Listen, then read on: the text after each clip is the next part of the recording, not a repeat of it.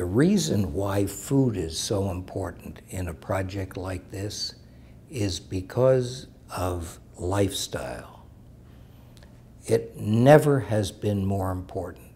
Food is now an anchor. Food is now seen as very fundamental in retailing. In addition, there will be an array of restaurants. So we're not just appealing to one customer.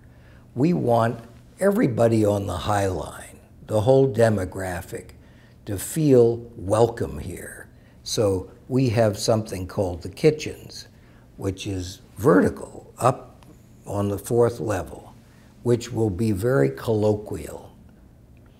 And you'll have that aspect combined with right across the way, uh, you'll have some great chefs doing some remarkable things. And th the kitchens will have the same view.